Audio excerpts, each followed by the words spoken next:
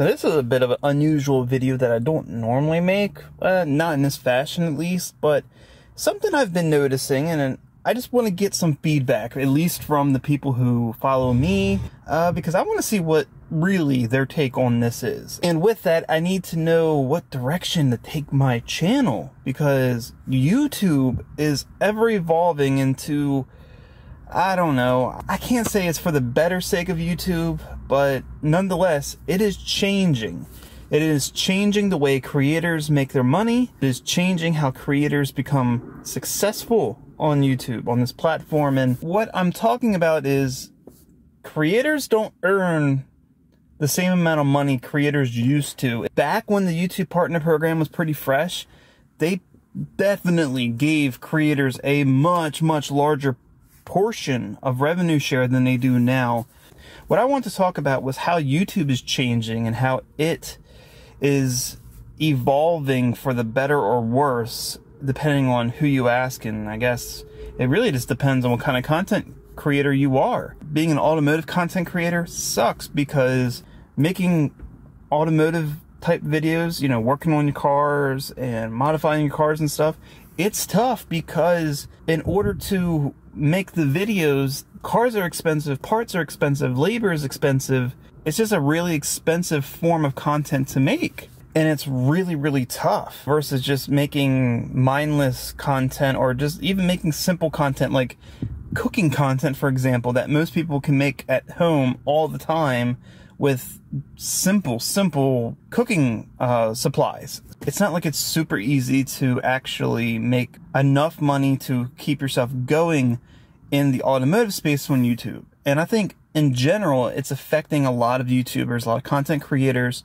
across the platform and has been for a while since YouTube uh, decided to reduce the amount of revenue share that they split with their creators. So for example, if a creator had a really good video, let's say it had 100,000 views, and they made $500 on that video, after they switched it, they would have got like $300. And that's a big, big difference, especially in the automotive side of YouTube, where it is so expensive to maintain that made a huge difference. And you probably started noticing a shift in your favorite content creators on what they were doing. You know, they were starting to substitute a lot of their revenue with sponsorships and advertisements within their video from other companies that they were basically endorsing. And creators really pushing affiliate links.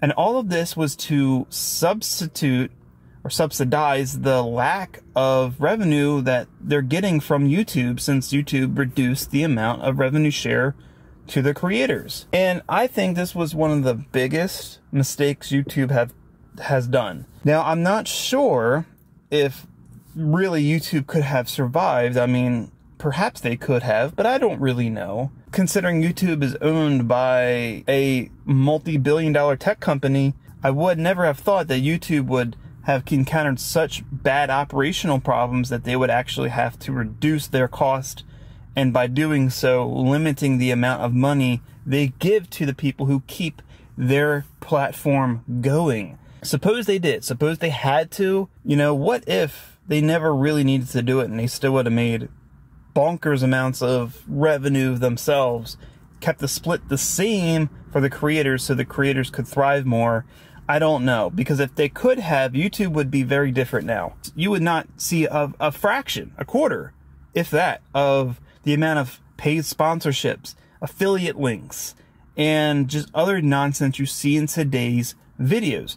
And sadly, because creators cannot support themselves anymore with just revenue, they have to have affiliate links. They have to have endorsements. They have to have sponsorships. They have to have all these different things in order to make up, especially when they had created a full business with operational costs around YouTube before the change. They had to make up all that difference. What that has done and how YouTube has gone about this, which basically they encourage now, they're creating tools for, for creators that encourages consumption from the viewer. YouTube is no longer what I consider a, a content platform. It's not a platform for sharing videos. It's a platform for marketing and advertising. That's what YouTube has become. And sadly, it's not going anywhere anytime soon. It's not going to revert back to how it was. And if anything, it's only going to continue to get worse in the sense that YouTube is going to continue to create tools and incentivize their creators to basically make YouTube a giant advertisement platform. How are creators working with YouTube to make a giant advertising platform? Well, think about it. If a creator is making specific content to just promote a product, to sell it to you, how does that make you feel? Because that's what YouTube has done. They have made it easier. They have implemented a basically an affiliate program built right in to YouTube, making it very easy for creators to promote a product that you don't need or want as their form of content in the hopes that they make a commission sale as an affiliate. And then the other side of that is you have a lot of paid sponsorships from creators uh, in their videos. I now see multi-minute sponsorship segments in videos of creators that I've been watching forever. I have to skip right through them. I have to go all the way through it. I don't watch it. I understand from a creator standpoint why they're doing it, but from a viewer standpoint, it's not attractive. It was one thing when someone was like, oh, today's video is sponsored by blah, blah, blah. Get your own blah, blah, blah by using my link in the description down below. That was okay. You know, you're taking up less than 30 seconds of the video with your sponsorship ad. Now we're talking minutes, minutes and minutes of sponsorship ads within your video. And then in the video, you have the YouTube ads that play. So what ends up happening is when you watch your favorite creators now, you click on the video and nine times out of 10, you're greeted with an ad. So you have to sit through that ad at the beginning of the video. Then when the video starts, almost one of the first places most creators put their sponsorship segment is at the very beginning of the video. Because statistically, that's where you're going to have the most viewer retention. That's where they're going to put it you sit through an ad to watch the video. Then once the video starts, instead of seeing the content you want to see from your creator, you have to sit through their multi-minute uh, sponsorship segment. So then once you get through that, then the video starts. And then usually you'll get a few more minutes into the video and then you're hit with that in video ad right there in the middle. And you're like, you gotta be kidding me. There's another ad. Creators now are actually creating a lot longer content for that purpose.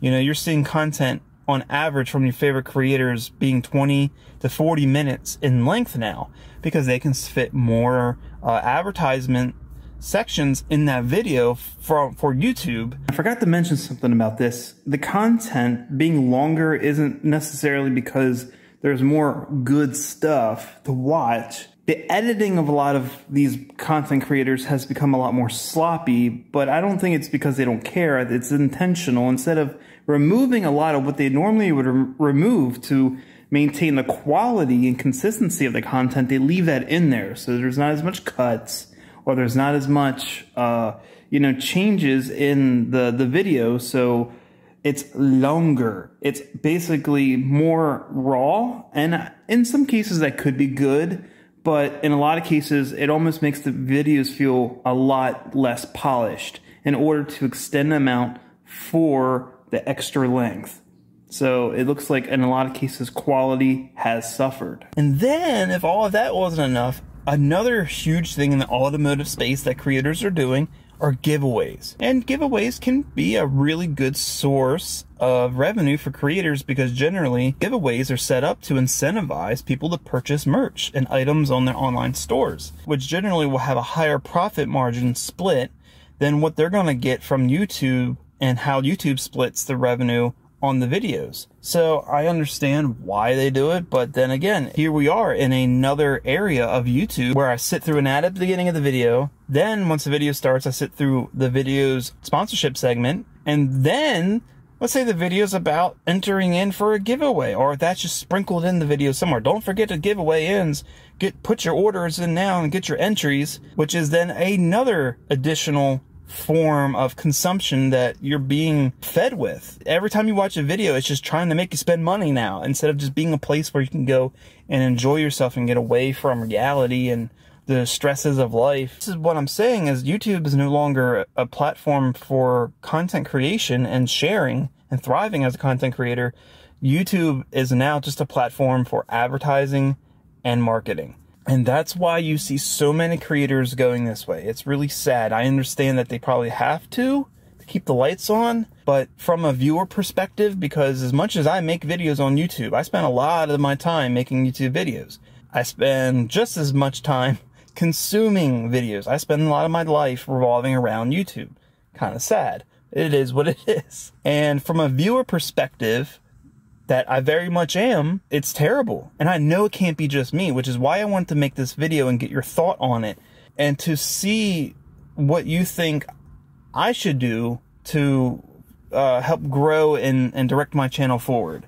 Because I, I have all those same tools. I can put all those same affiliate links in my videos and I can get all the same sponsorships as anyone else. I choose not to because I think it reduces the quality or more or less the experience, viewing experience. I'd rather retain a positive viewing experience if possible. But because I choose not to do, implement all these different things into my videos, I am probably leaving a significant amount of potential revenue untapped. With how YouTube ads are and with how everything is, the people who watch my channel, would you appreciate or would it bother you to sit through a sponsorship segment, especially if it's long? Would it bother you if I promoted products in my videos, especially if they're products that don't necessarily, um, you know, align with the theme of my channel, if they're not specific automotive products. Being an automotive channel, if I decided to promote, a, you know, erectile dysfunction medication, would you appreciate that? Would you support that in order to support me? You know, you see what I'm saying? It it's it's a tough one and I have yet to make that jump. Now, I'm not saying I haven't implemented certain things in my time with YouTube like some videos are not necessarily sponsored, but I do have affiliate accounts with certain companies like, like Auxito for uh, lights and stuff that I have done in the past, and I have uh, Amazon affiliate links for certain products. I've linked in some videos, but the, the biggest influence, or some of my biggest influences on YouTube, are they sponsor products that I would never buy. Crappy earphones, hair loss treatments, questionable security products, prepackaged foods and whatnot. You know, they're, they're things I am never going to buy. And I know I can't just think about it, me, but I do. The way I go about my businesses is, okay, well, if it's going to cause me to feel bad about it, how is the next person going to feel? And I always try to look at things in that light. I don't want to have to promote products that don't align with my channels. I don't want to promote products that have a bad reputation or just a bad product in order to subsidize some money. So this is where the bump in the road is for me. Everyone's probably like, man, we don't even bother. We don't care. I don't buy nothing from no one. I just watch what I want to watch, skip through the rest, and move on to the next video. I agree. That's what I do too. But at some point, you got to realize that it's going to get old. People are going to stop watching videos. It's going to affect a lot of people eventually. Maybe not. I don't know. Americans, at least, we're, we're really bad with money and being a capitalistic country, we, we love consumerism. So perhaps everything will be fine.